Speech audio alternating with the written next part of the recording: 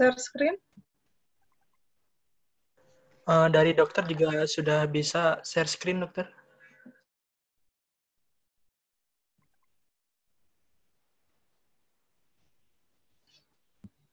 Hmm.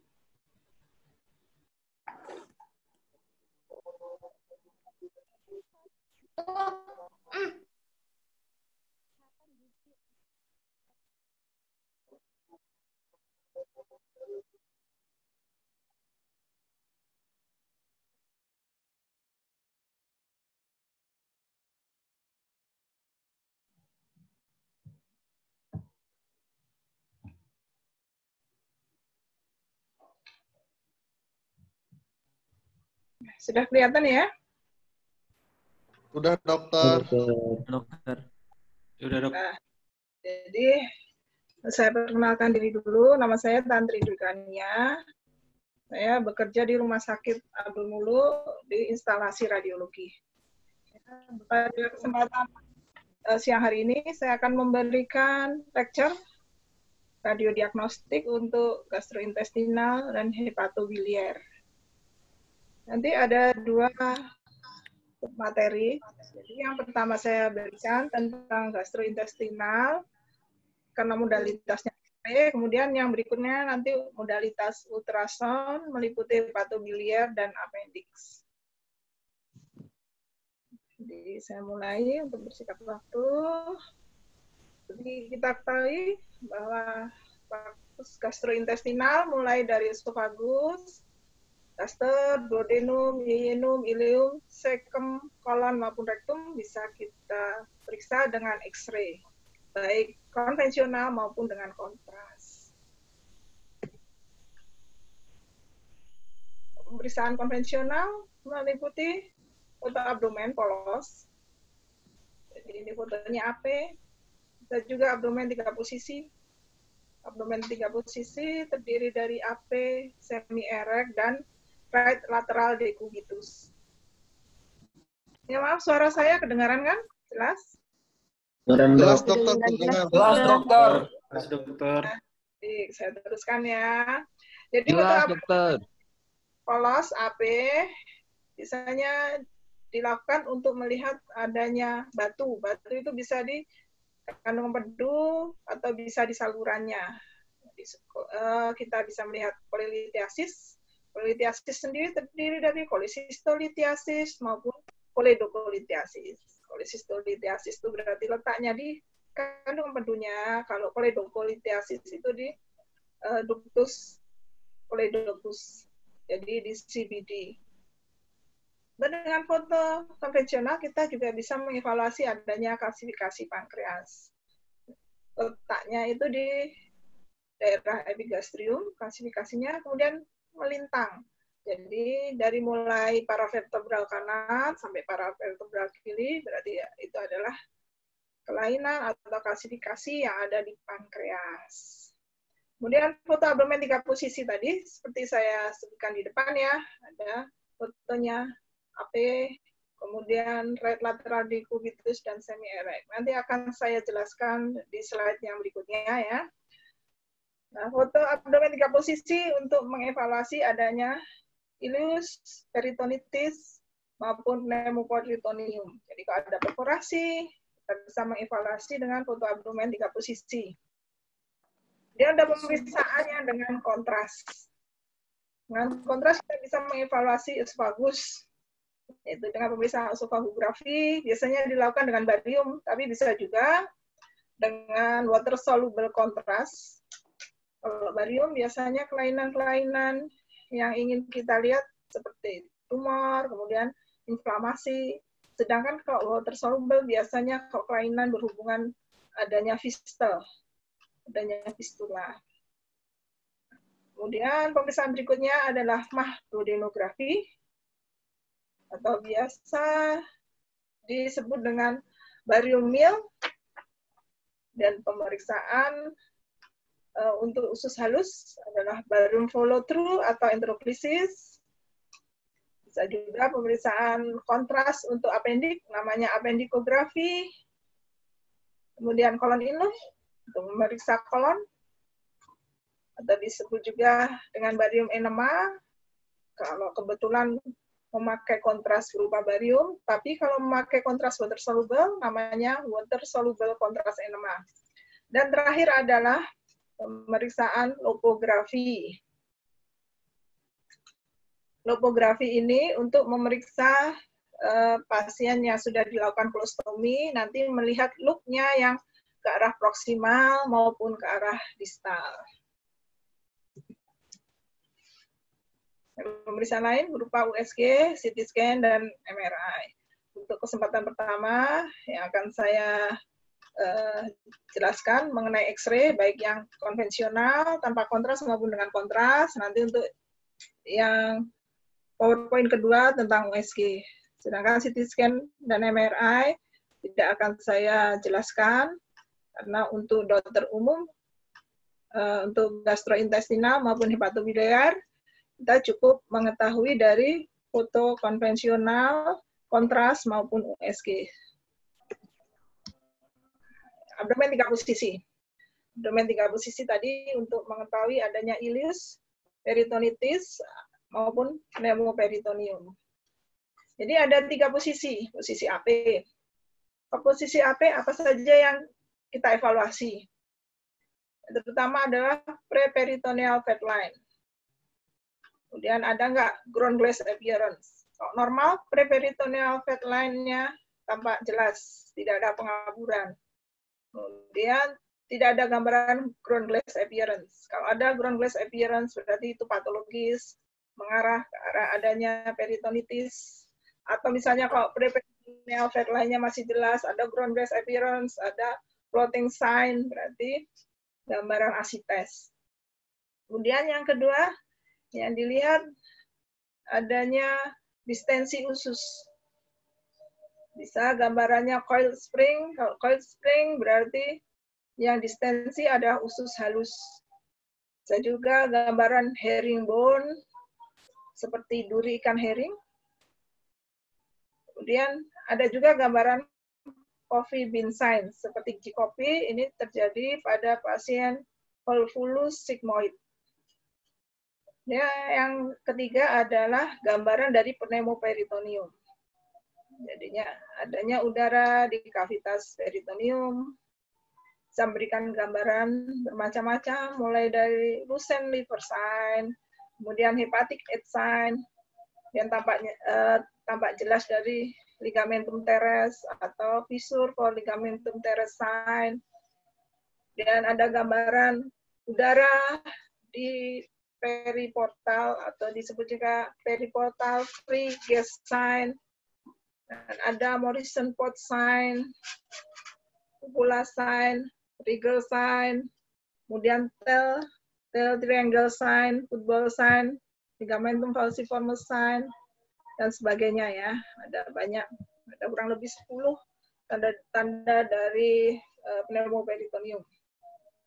Kemudian foto LLD yaitu LLD yang kita lihat ada nggak gambaran step ladder? Jadi seperti tangga ya. Ada airflow level ada batas antara cairan dan udara di dalam uh, lumen usus kemudian multiple membentuk gambaran step ladder berarti itu adalah ileus obstruktif letak tinggi. Dan yang terakhir ada posisi dengan semiare kita bisa melihat adanya step ladder dan ada semilunar shadow. Semilunar shadow memperlihatkan adanya pneumoperitoneum.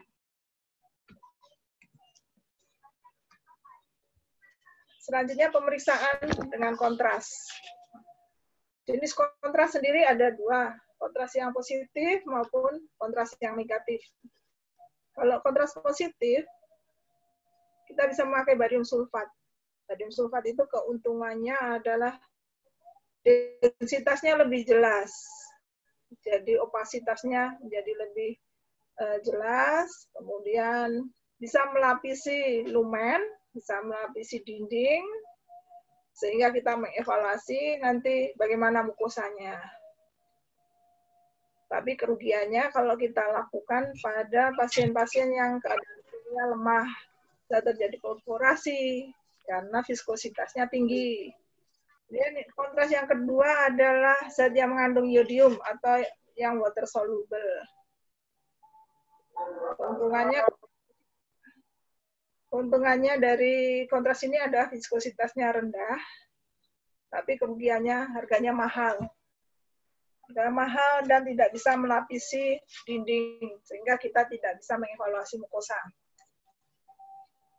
Kemudian kontras kedua adalah yang negatif, kontras negatif ini ada udara.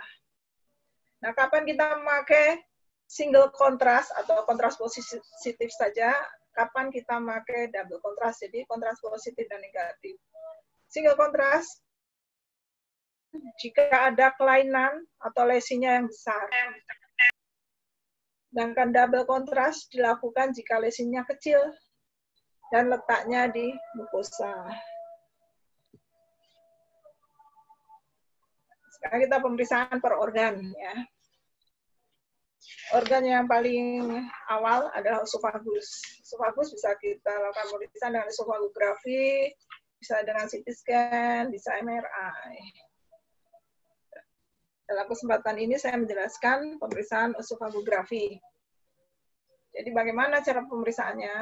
Pemeriksaannya dengan single kontras pasien disuruh minum suspensi barium sulfat.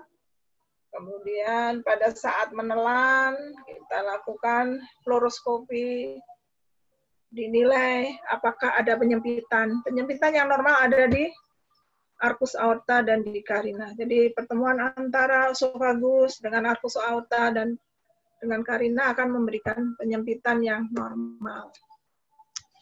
Tapi ada juga penyempitan yang tidak normal itu disebut dengan feeling defect. Ada kelainan berupa feeling defect, silakan dideskripsikan bagaimana gambaran feeling defect-nya sehingga nanti bisa disimpulkan bahwa kelainan atau lesi itu letaknya di mana, apakah di mukosa ataukah dia di uh, ekstralumen ya. Nah, dari deskripsinya kita bisa mengevaluasi itu.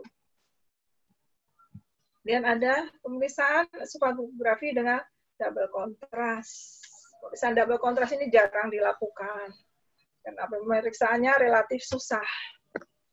Jadi pasien e, menelan barium sulfat, kemudian juga menelan udara. Biasanya diberikan tablet effervescent. Nah, penggunaan double kontras ini untuk mengevaluasi kelainan yang kecil. Jadi yang letaknya di mukosa.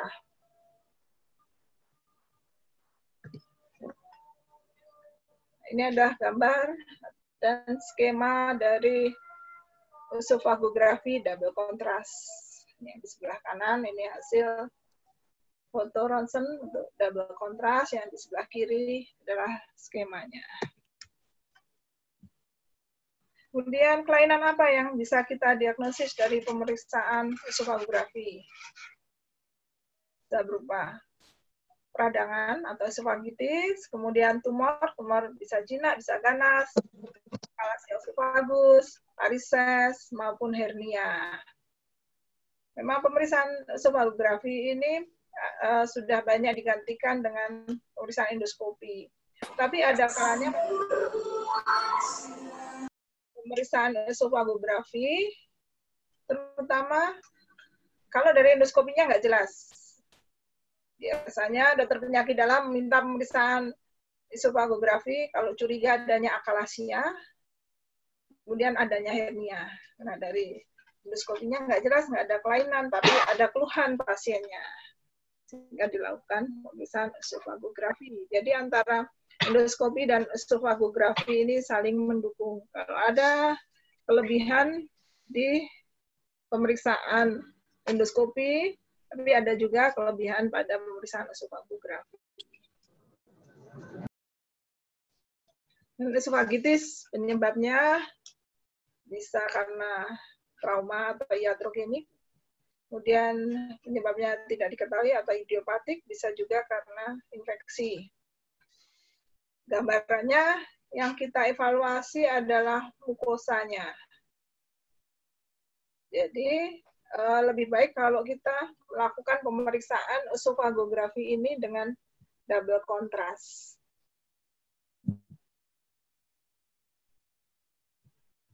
Jadi diperiksa bagaimana fold-nya, apakah ada penebalan, ada irregularitas atau tidak, kemudian adanya erosi dan ulkus, adanya struktur.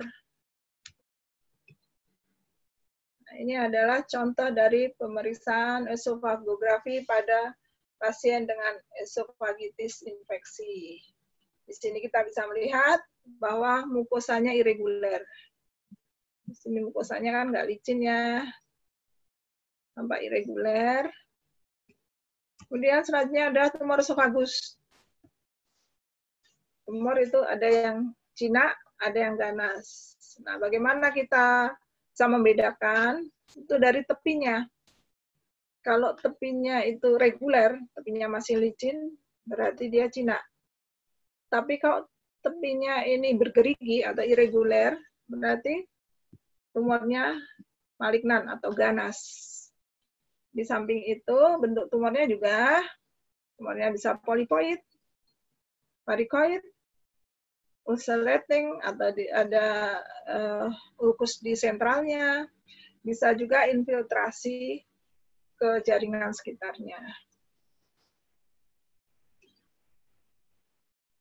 Kemudian akalasia usofagus. Akalasia usofagus ini ditandai dengan lebarnya usofagus, kemudian menyempit mendadak di daerah diafragma. Membentuk gambaran big like atau mostel appearance. Peristaltiknya biasanya berkurang. Kemudian ada peristaltik yang sekunder dan tersial. Jadi peristaltik yang biasanya ada itu menjadi lemah, tapi ada peristaltik yang lain yang kelihatan di situ sehingga tidak efektif peristaltiknya. Ini akibat kelainan dari neuron yang ada di dinding esophagus tersebut.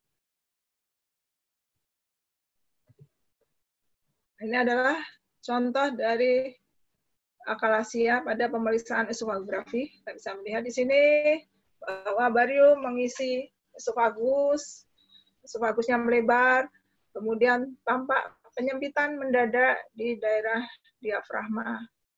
Memberikan gambaran mostel appearance atau uh, big sign atau uh, red red tail. Jadi seperti ekor tikus atau seperti uh, ini ya paruh burung. Yang terakhir, varises esofagus, kasusnya uh, untuk pemeriksaan esofagografi uh, agak jarang. Biasanya kalau varises esofagus dilakukan pemeriksaan endoskopi. Tapi dengan pemeriksaan esofagografi kita bisa melihat adanya filling defect yang kecil, kemudian panjang, berleku-leku, memberikan gambaran seperti cacing atau worm-like, disebut juga dengan cobblestone. Untuk memeriksa esofagografi pada pasien varises, sebaiknya pasiennya tengkurap atau prone. Kalau pasiennya uh, berdiri atau pasiennya supine, gambarannya kurang. Paling bagus prone, dia ikuti kalau supine itu nomor dua ya, erek atau pasien berdiri itu susah melihatnya. Kemudian hernia. Hernia ini ada tipenya bermacam-macam ya. Ada sliding hernia. Sliding hernia ditandai dengan gastroesophageal junction-nya berada di atas diafragma. Kemudian ada hernia paraesophagus, ada subesophagus akibat uh, esofagusnya yang pendek. Bisa karena kelainan kongenital, kelainannya akuisita akibat dari esophagitis, kemudian uh, esofagusnya memendek. Nah, gambar berikut merupakan gambaran dari sliding hernia.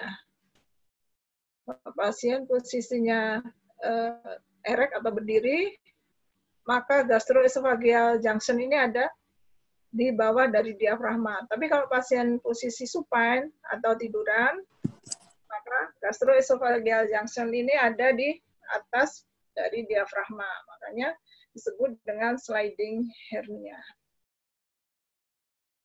Kemudian pemeriksaan organ selanjutnya, gaster. Bisa diperiksa dengan modalitas bariumir, bisa juga ultrasound maupun CT scan dan MRI. Ini adalah uh, skema dari gaster dan duodenum.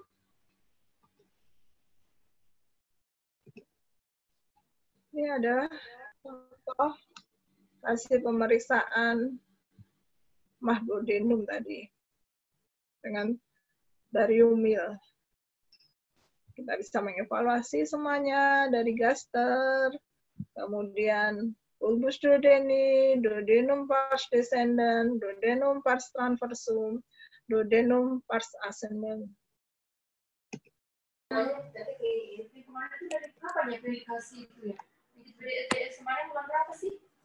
ya? Kemudian foto berikutnya, ini memperlihatkan gambaran gaster, posisi pasiennya supine. Karena supine, maka kontrasnya ini mengumpul di daerah fundus. Nah, yang berikutnya, ini pasiennya prone atau tengkurap, sehingga daerah fundusnya terisi udara.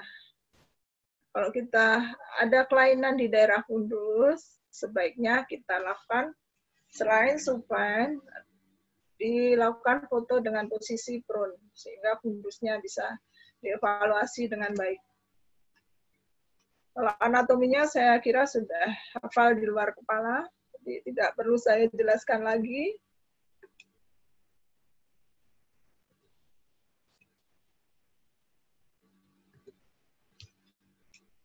Bagaimana pemeriksaannya? Pemeriksaannya adalah dengan single kontras, siapanya puasa, kemudian pasien diminta minum barium sulfat yang encer, kemudian posisinya bisa gantung eh, bagian mana yang mau kita perlihatkan dengan jelas.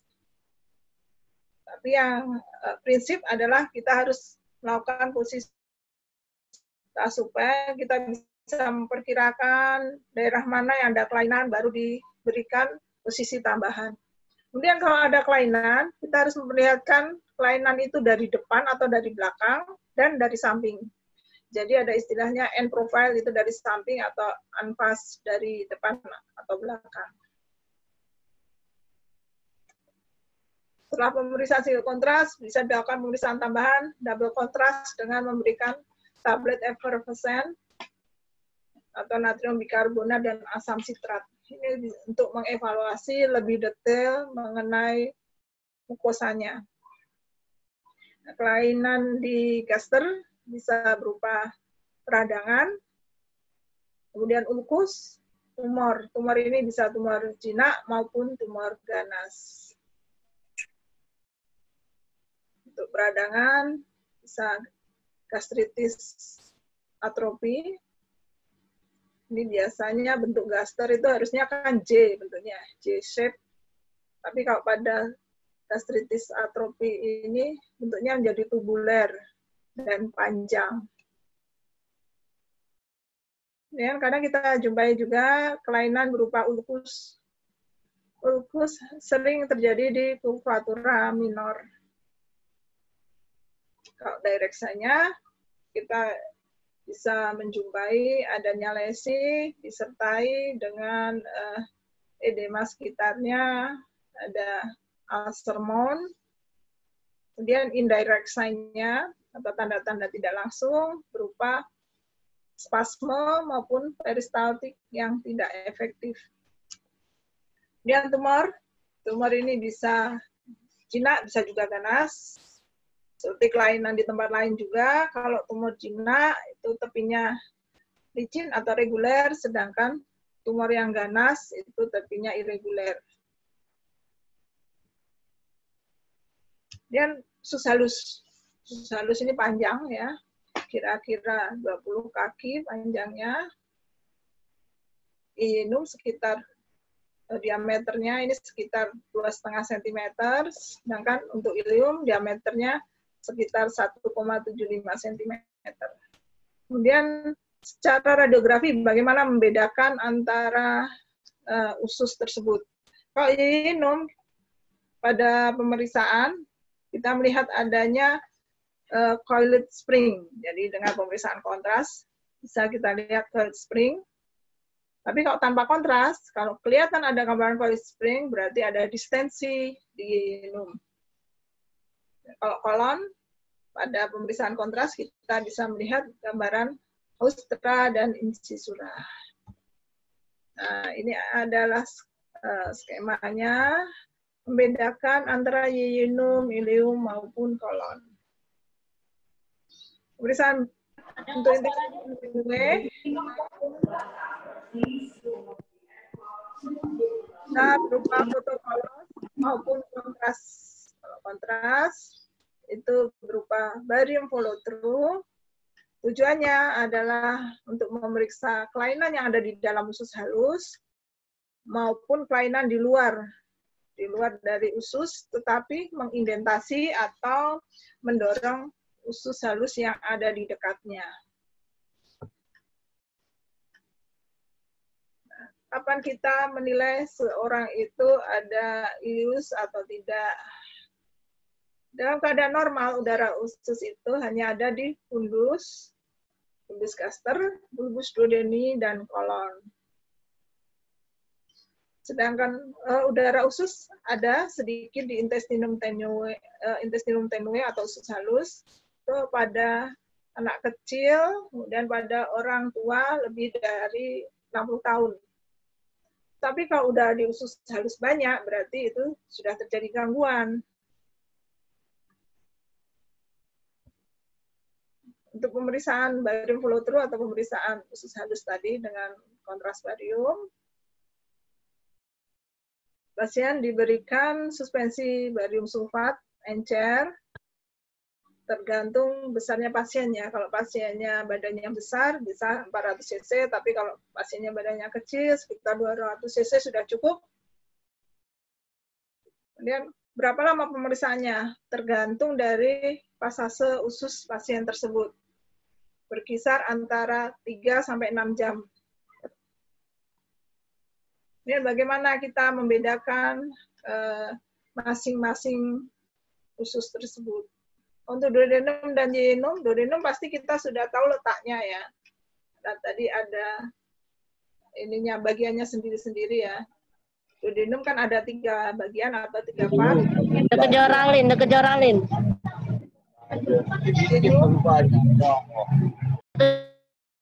Jejunum ini uh, veteri atau berbulu,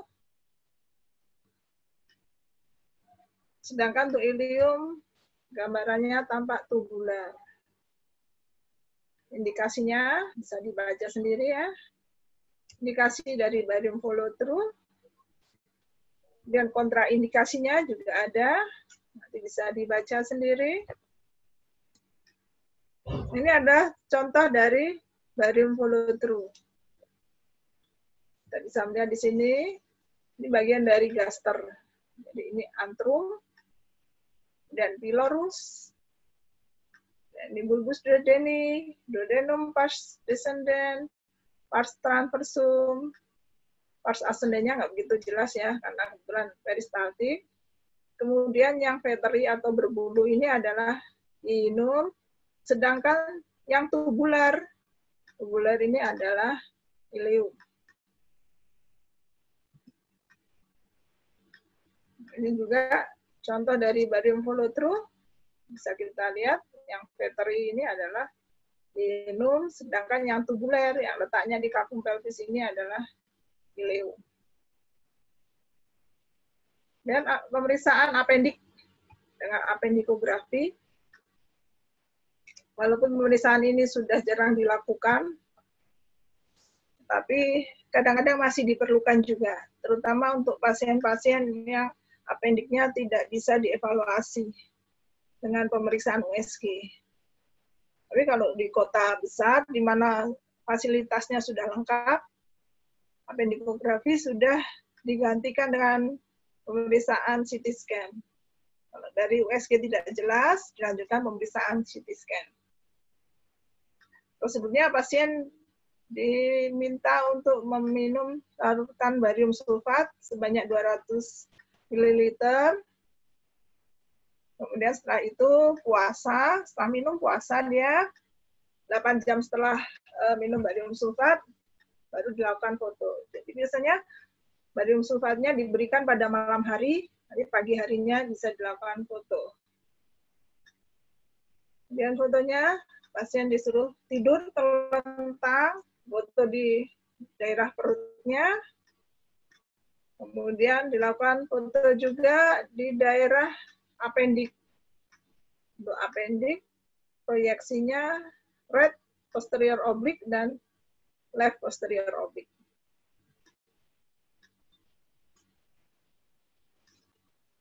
Gambaran yang bisa dilihat adanya apendik, lumen apendik yang terisi barium inhomogen dengan tepi irregular itu menandakan adanya appendicitis kronis. Kalau appendicitis akut, pemeriksaannya nanti yang PowerPoint kedua yaitu dengan USG. Nanti saya jelaskan ya. Selanjutnya pemeriksaan kolon. Pemeriksaan kolon ini dengan kolon inlo. Untuk anatominya pasti sudah hafal di luar kepala. Nah, ini ya, skema skema dari kolon.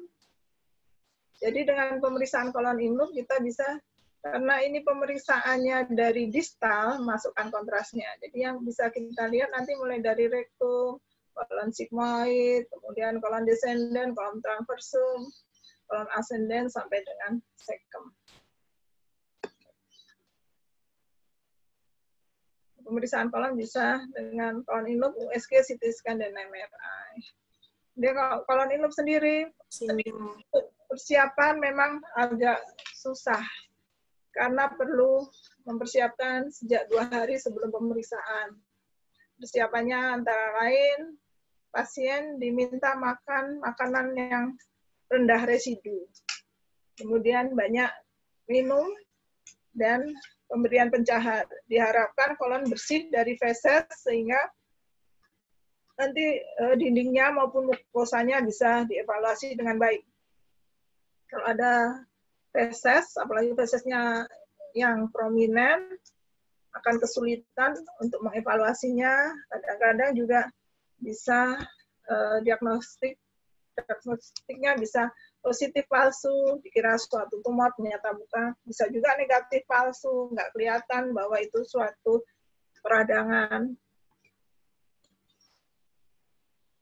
Tujuan pemeriksaan kolon inlum itu untuk mengetahui kelainan di kolon, baik di dalam lumen maupun di luar.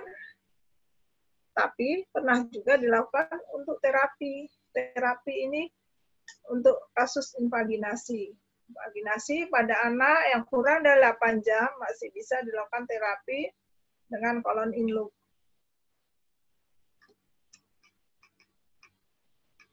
Kemudian dikasih pemeriksaan, bisa dibaca di sini ya. Pada anak-anak paling sering pada kasus megakolon kongenital atau Hirschsprung disease.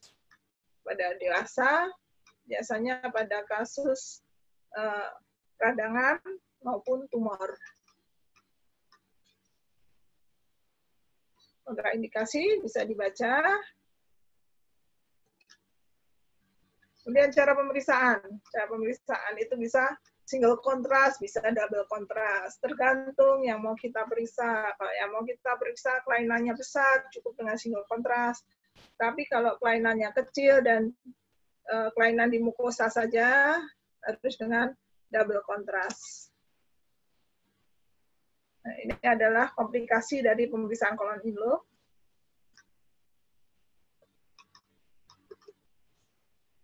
Ini gambaran dari kolon ilo. Jadi ini ada pemeriksaan kolon induk dengan double kontras. Kita bisa melihat mukosanya, bisa melihat ke dalam uh, lumennya. Jadi yang kita evaluasi mulai karena kolon induk ini dari distal ke proksimal, mulai dari rektum, kolon descendant, kemudian kolon transversum, kolon ascendent, secum. Kebetulan ini apendiknya terisi, kemudian ilium terminalisnya juga terisi kelainan yang bisa terjadi pada kolon berupa kolitis. Kolitis ini uh, yang tersering adalah kolitis ulceratif dan kronisis. Bagaimana kita membedakan kolitis ulceratif dengan kronisis? Kalau kolitis ulceratif ini biasanya di distal. Jadi bagian terkena mulai dari rektum, kemudian kolon. Tapi tidak mungkin mengenai ke intestinum tenue atau ilium. Kemudian lesinya biasanya continuous dari distal ke proksimal. Yang lainan mulai dari mukosa, terjadi ulkus, letaknya superficial, tapi resiko untuk terjadinya keganasan di kolon lebih besar pada pasien dengan kolitis ulceratif. Nah, beda dengan kronisis. Kronisis mulainya dari proksimal ke distal, jadi mulai dari ilium ke sekum, kemudian kolon ascendent dan ke distalnya. Uh, untuk lesinya sendiri, lesinya relatif dalam sehingga bisa terjadi fistula. Dan lesinya ini skip, jadi ada kemudian hilang. Ini ya selang-seling. Beda sama kolitis ulceratif tadi kan lesinya kontinu. Ada dari distal ke proksimal. Tapi kalau kronisis dari proksimal ke distal, kami skip. Jadi tidak continuous. Dia ganasan. Ganasan ini ada yang tipenya polipoid atau fungoid, biasanya terjadi pada kolon kanan. Sedangkan kalau ganasan bentuknya eh, di kolon kiri bentuknya anuler, memberikan gambaran napkin ring atau apple core.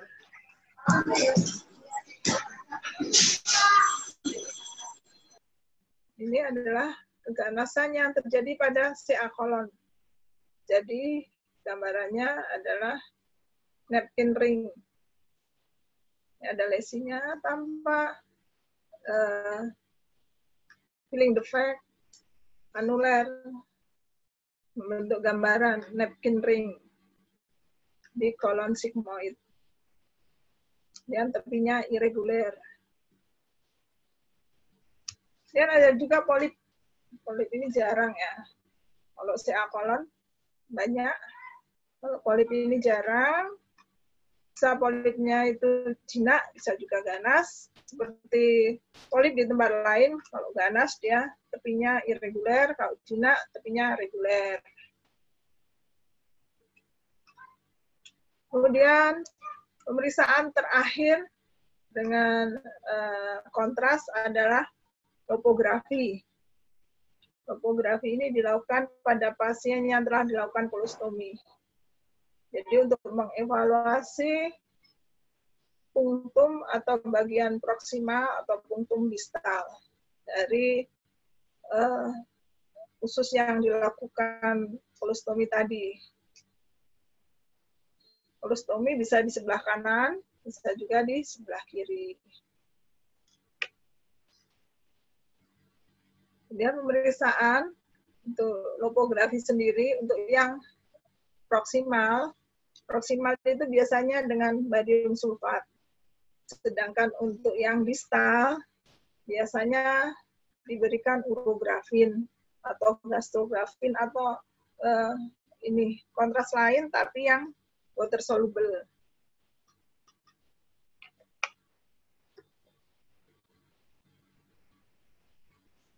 Ya, terakhir topografi. Langsung kita lanjutkan ke PowerPoint kedua atau ada yang mau ditanyakan dulu? Silahkan Pak, ada yang mau bertanya?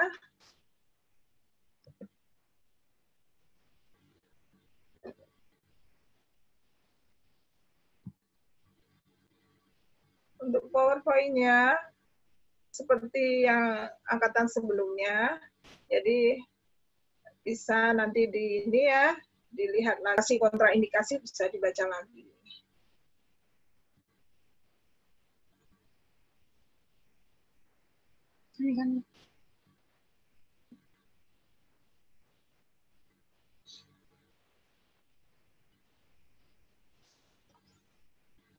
Silahkan eh, kalau ada yang mau bertanya, langsung saja mikrofonnya di unmute. Nah, kalau nggak ada pertanyaan, kita lanjut ke yang PowerPoint kedua mengenai ultrasound. Pertama tadi kan mengenai foto polos maupun foto kontras. Jadi yang pertama tadi modalitasnya X-ray, kalau yang kedua modalitasnya ultrasound.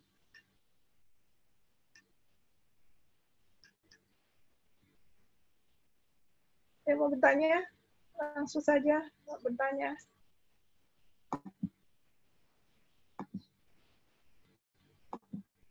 Semester berapa, Dek? Semester 7, dokter. Oh, semester 7 mah udah ini ya. Semester Udah. akhir, dokter. Iya. Pasti ilmunya udah di luar kepala ya. Ya, semester 7 banyak tanya jawabnya. Silakan kalau ada yang mau bertanya.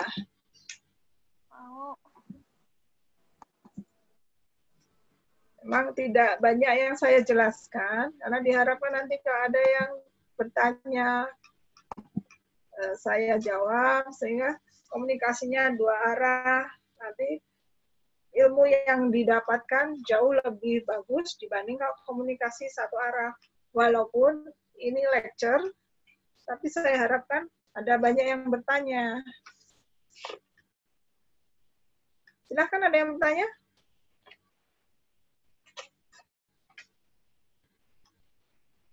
Nggak ada. Baiklah, kita lanjut aja ya. Lanjut ke ultrasonografi.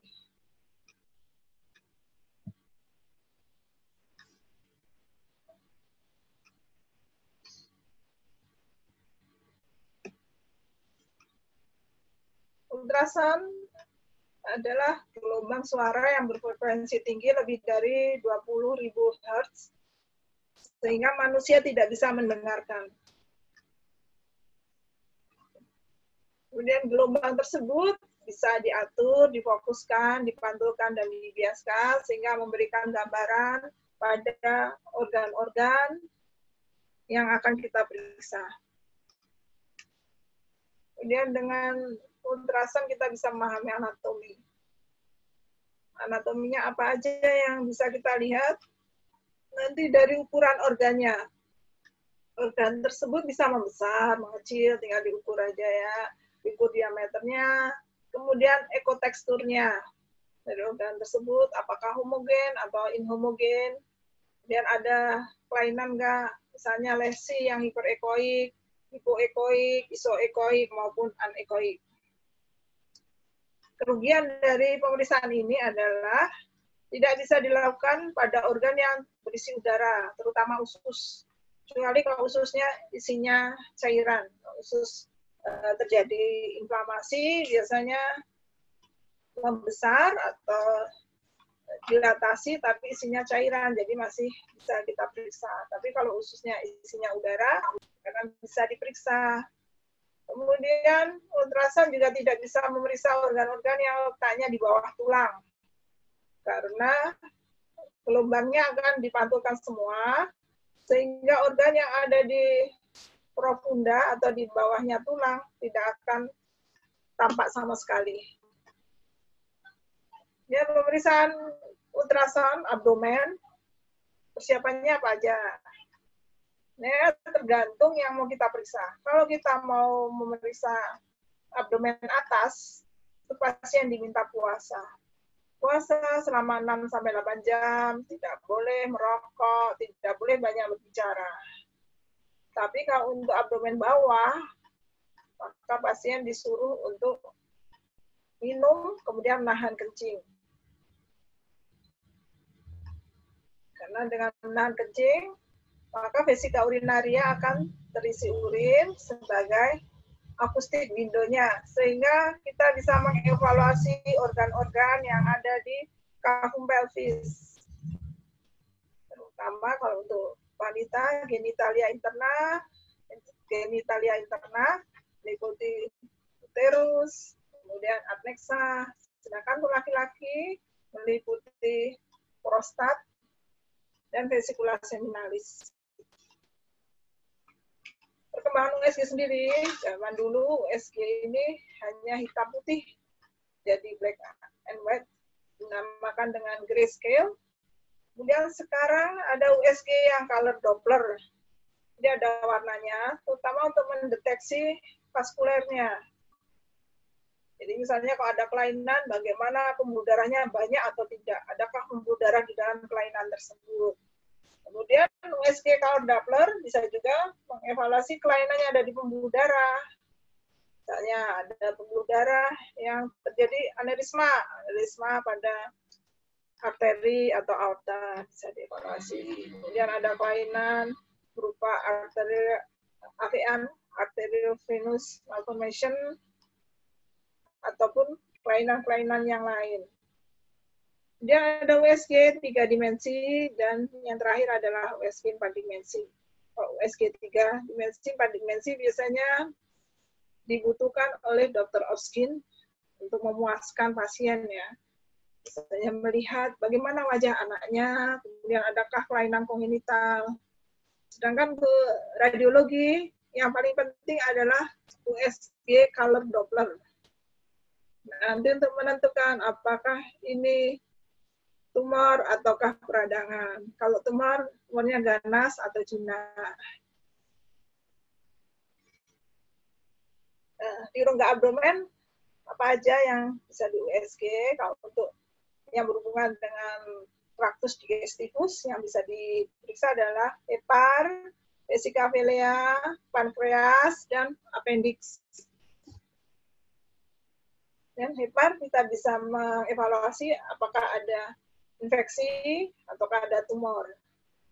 Infeksi ini bisa berupa hepatitis akut maupun kronis, kemudian tumor bisa tumor jinak dan tumor ganas. Tumor jinak sendiri yang paling banyak adalah kista, kemudian yang bentuknya padat atau solid adalah vokal nodular hiperplasi. Nah, ini ada contoh USG hepar normal. Jadi ada struktur hepar yang bisa kita evaluasi di situ.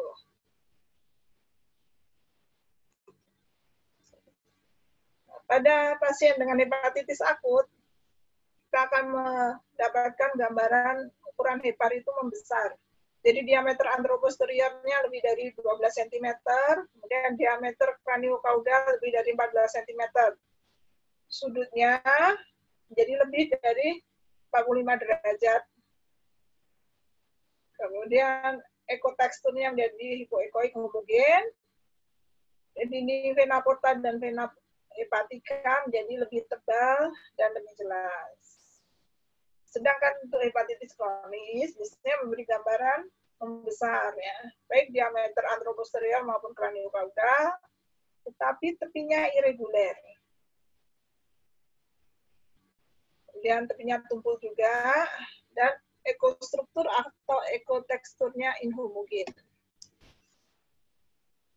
Nah, kalau uh, tumor jinak berupa kista, ini kita bisa melihat adanya lesi anekoik, jadi gambaran uh, hitam. Biasanya pasien melihat ada lubang, gitu. Nah, ini lesi anekoik merupakan gambaran kista. Walaupun kista bisa simpel, bisa bersepta, atau yang disebut juga dengan kompleks ganasan yang banyak kita dapatkan adalah hepatoma. Walaupun hepatoma ini bisa uh, banyak secara histopatologisnya nanti dibagi lagi. Hepatoma itu bisa hepatoseluler karsinoma, bisa adenokarsinoma. Tapi yang paling sering bagian dari hepatoma itu adalah hepatoseluler karsinoma atau disebut juga dengan saya disingkat dengan HCC. CC ini bentuknya bisa soliter, bisa eh, multinoduler, bisa juga difus. Jika terjadi tumor hepar, bisa kita jumpai adanya trombus di vena porta atau vena hepatica. Bahkan pernah juga dijumpai trombus itu sampai ke vena cava inferior. Ini adalah gambaran tumor hepar. Tumornya jinak letaknya di segmen 7 dan 8. Ya, kemudian berikutnya adalah kandungan empedu atau vesicapillea. Biasanya kelainan apa yang ada di vesicapillea? Yang pertama ada infeksi. Infeksi ini bisa akut, bisa juga kronis. Kemudian batu, tumor, dan terakhir adalah kelainan saluran biliar. Kalau kelainan saluran biliar biasanya terjadi pada kongenital ya, pada bayi dan anak. Ini adalah contoh batu batu di uh, vesicapillea disebut juga dengan cholecystolithiasis. Kalau kita menyebut cholelithiasis itu umum, bisa di vesicapillea, bisa di CBD atau ductus coledophus. Jadi kalau umum disebut dengan cholelithiasis. Cholelithiasis terdiri dari cholecystolithiasis yang letaknya di vesicapillea dan choledocolithiasis yang letaknya di uh, atau ductus coledophus. Kita kembali lagi ya ke peradangan tadi. Polisistitis akut memberikan gambaran adanya penembalan dinding, kemudian ada double rim atau uh, dindingnya yang menjadi double. Kemudian kalau polisistitis kronis dengan gambaran Sikafileanya mengecil, kemudian dindingnya menebal. Kalau kolesistolitiasis dan koledokolitiasis memberikan gambaran lesi hiperekoik dengan posterior akustik shadow, walaupun bisa juga lesinya hiperekoik saja, karena tergantung uh, ininya jenis dari batunya.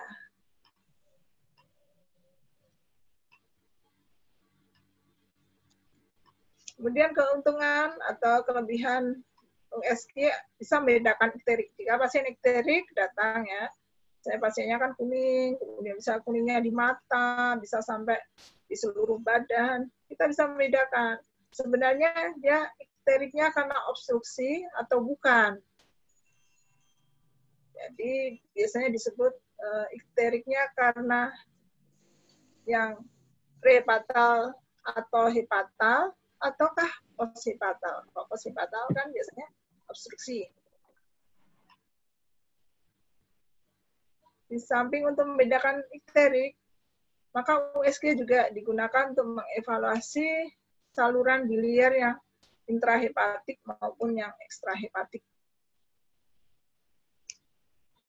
Kemudian kita menginjak ke organ selanjutnya, pankreas. Kelainan pada pankreas bisa berupa infeksi maupun tumor. Infeksi sendiri bisa akut, bisa juga kronis. Tumor bisa tumor jinak maupun tumor ganas.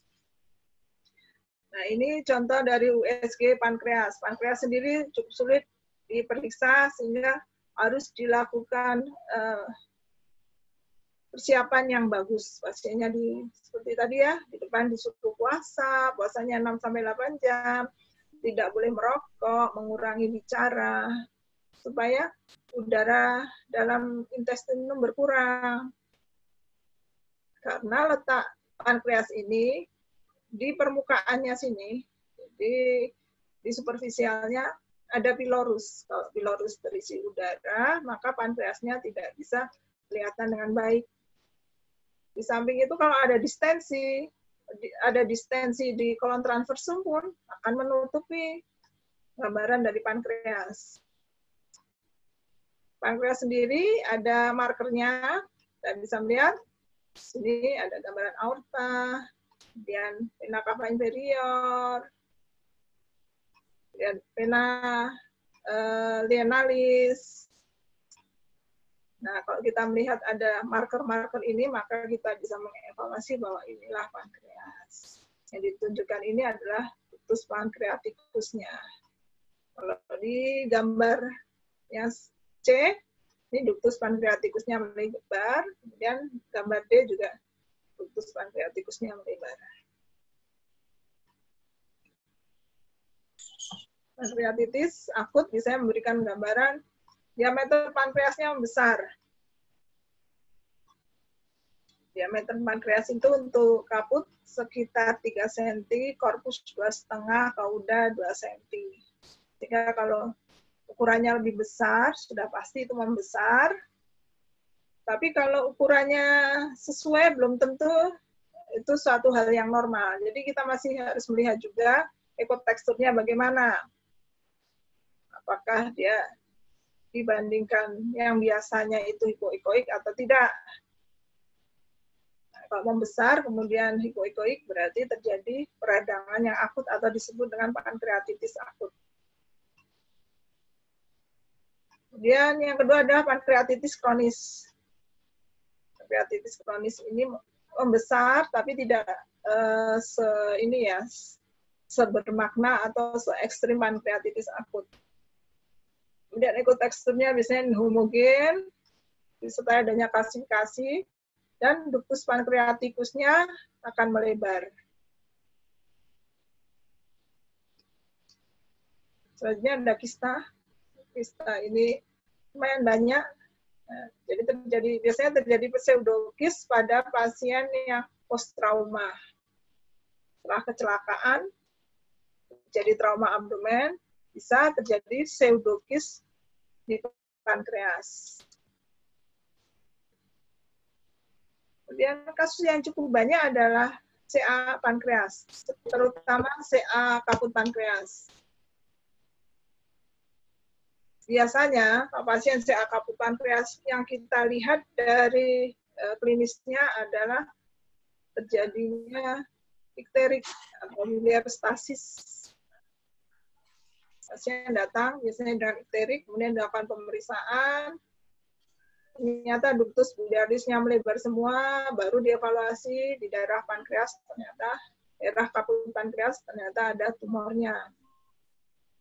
Tumornya bisa ekoik, bisa inhomogen, dengan tepinya yang irregular atau tepinya bergerigi.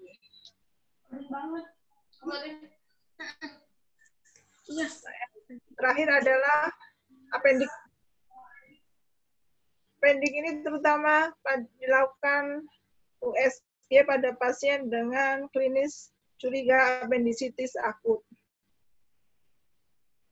Karena kalau pasien eh, apendiknya normal, mah lebih sulit dilakukan pemeriksaan. Tapi pasien dengan apendisitis akut, lebih mudah kita lakukan pemeriksaan karena apendiknya sendiri membesar. Jadi diameternya lebih dari 6 mm. Kemudian tebalnya dinding apendik itu lebih dari 3 mm. Kita bisa melihat adanya apendikolit, kemudian adanya cairan di periapendik atau cairan di perisekal, kemudian ada fat tissue infiltration atau fat stranding. Itu saja bahan yang saya berikan. Silakan kalau ada yang kurang jelas bisa ditanyakan.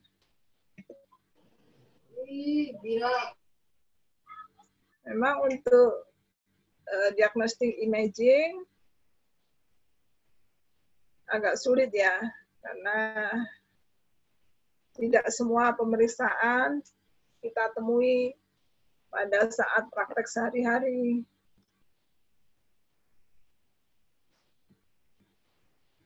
Silahkan, Dek, kalau ada yang mau ditanyakan.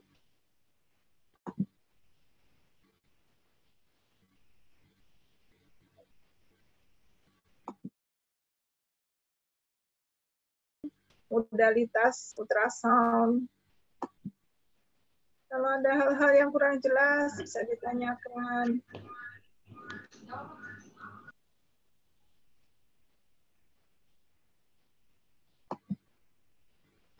Ya, silakan deh.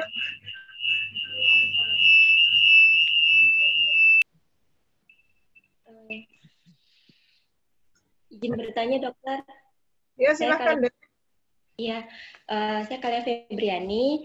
Uh, izin bertanya, ketika ada pasien dengan keluhan uh, nyeri abdomen, uh, ketika itu pemeriksaan mana yang eh, sebaiknya kita lakukan terlebih dahulu, dokter? Apakah BNO ataukah tiga tiga posisi atau seperti apa, dokter? Terima kasih. Ya, terima kasih atas pertanyaannya.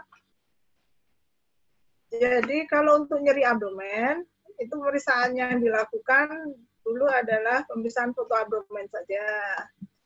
Nah, untuk mengetahui kira-kira kelainannya di mana. Kalau dari foto abdomen nggak ada kelainan apa-apa, dilanjutkan dengan pemeriksaan USG. Nah, foto abdomen ini paling mudah.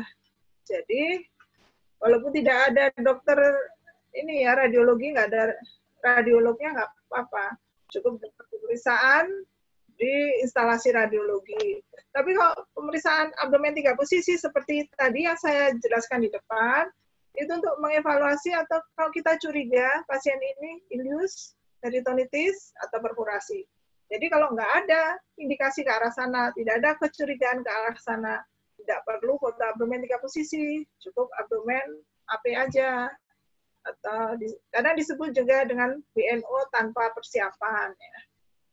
Tapi kalau selanjutnya misalnya dari foto abdomen tidak jelas, misalnya dicurigai ada batu di kandung empedu, bisa dilakukan USG. Kemudian kalau kita curiga misalnya isinya kolik, curiga kolik ureter, bisa dilakukan USG untuk mengevaluasi traktus urinariusnya. Yang paling mudah adalah pemeriksaan fotokolos abdomen. Sama juga nanti kalau misalnya kebetulan ada pasien, ada batu gitu ya, batu pilek sesak nafas, nah, dilakukan foto torak. Pemeriksaan X-ray tanpa kontras adalah pemeriksaan yang paling sederhana. Bisa dilakukan di mana saja, karena semua rumah sakit pasti ada eh, fasilitas tersebut. Silahkan kalau ada yang bertanya lagi. Assalamualaikum dok, izin bertanya dok. Waalaikumsalam. Silahkan. Eh, nama saya Nanti Lima Kereta dok, izin bertanya.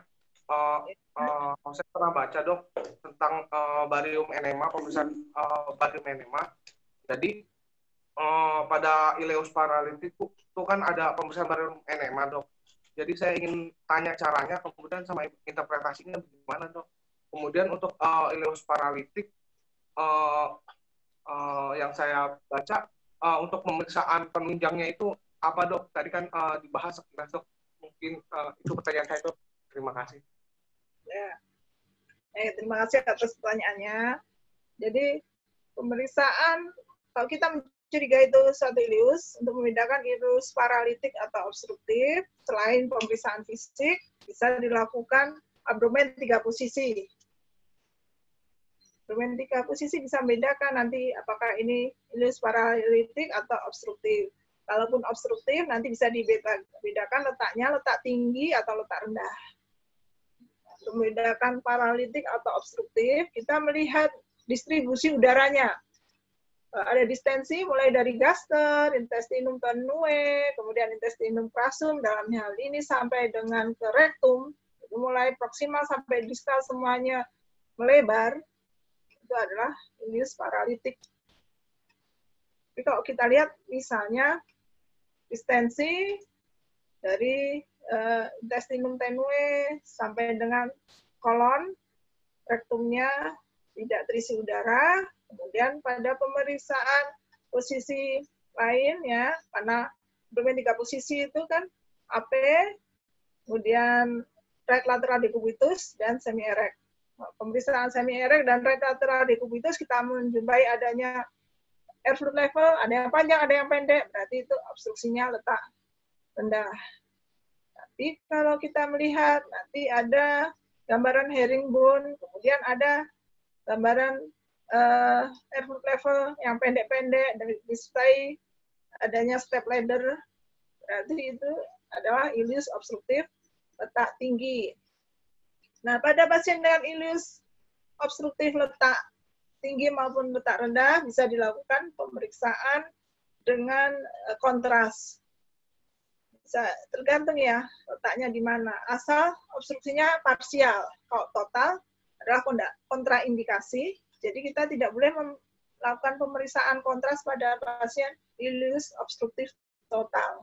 Kalau parsial boleh dilakukan pemeriksaan untuk eh, memberikan informasi obstruksinya itu disebabkan oleh apa.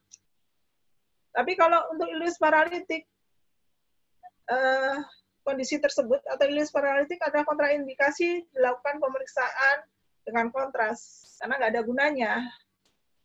Dan biasanya pada paralitik itu eh, ini ya dinding ususnya kan mulai menipis. Misalnya kan ada ileus obstruktif, kemudian berlanjut menjadi paralitik, itu dinding ususnya sudah menipis. Beda dengan ileus obstruktif mulai awal ya, eh, maaf, paralitik mulai awal, itu dinding ususnya nggak menipis, tetapi tidak ada gunanya. Jadi tidak eh, ada faedah dilakukan pemeriksaan tadi ya eh, dengan kontras untuk pasien dengan ileus paralitik.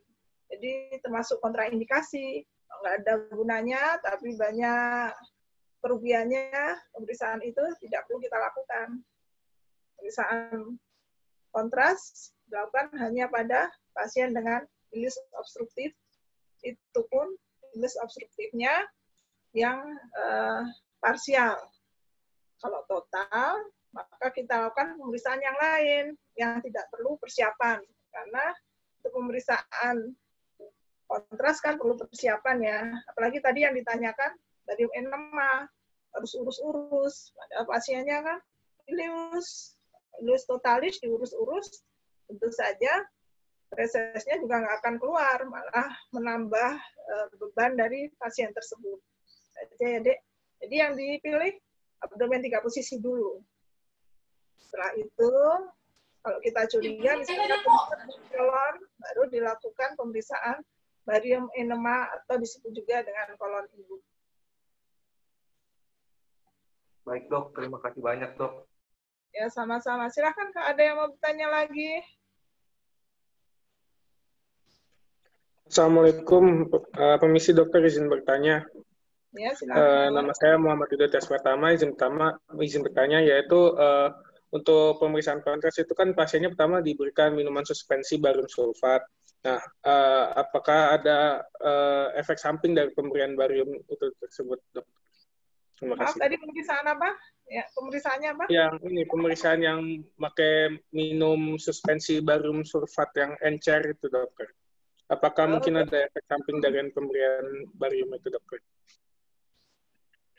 Jadi untuk pemeriksaan kontras itu yang wajib diketahui adalah kontraindikasinya pasien dengan ileus obstruktif yang total. Kalau pasien misalnya obstruksi parsial atau malah nggak ada tanda-tanda obstruksi, nggak apa-apa, tidak ada ininya kerugiannya kalau kita melakukan pemeriksaan dengan barium sulfat encer. Tapi kalau obstruksinya total, tentu saja tidak ada pasase ke distalnya sehingga akan menambah volume dari eh, ini ya cairan yang ada di lumen usus. Kita melakukan pemeriksaan itu dilihat kondisi pasiennya dulu. Kalau memang nggak ada kontraindikasi, silahkan dikerjakan. Tapi kalau ada kontraindikasi, tadi gangguan pasase, apalagi yang sudah total, maka tidak boleh dikerjakan. Kemudian eh, barium itu efeknya apa? Nggak ada efeknya apa-apa di dalam usus tetap dikeluarkan seperti juga halnya kalau kita makan ya, keluarkan. Cuman kalau barium itu tertahan lama, maka akan mengeras sehingga tidak boleh diberikan pada pasien yang tadi saya sebutkan obstruksinya total karena dia akan tahan lama di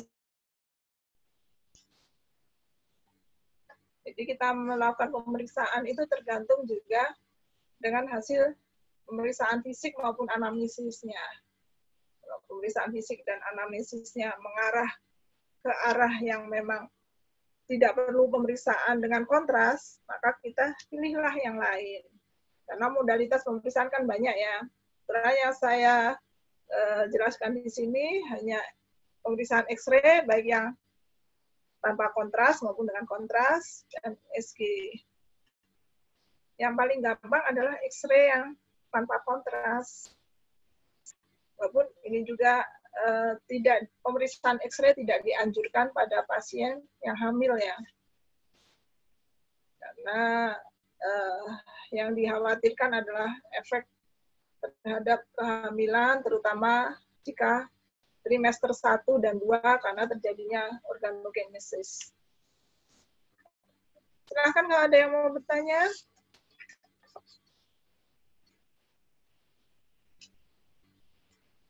Jadi pemilihan pemeriksaan mulai yang sederhana dulu, jadi foto polos, baru dilanjutkan pemeriksaan yang selanjutnya yang lebih spesifik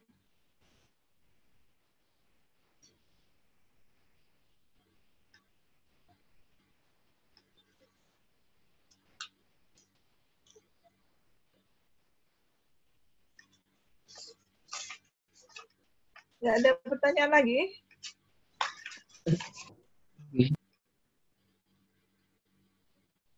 Bahkan kalau ada yang bertanya, ditanyakan sekarang. Kalau nggak ada pertanyaan, saya akhiri sekian. Berhubung ini sudah jam 16.11 ya. Katanya sholat asar. Karena jam lecture kita kurang menguntungkan ya mulainya jam 15 ya. Uh, waktu surat asar kan jam 5 sekitar 15.10 gimana? Oh absen. Iya izin gimana? di foto aja atau gimana ya? Uh, biasanya di kelompok dok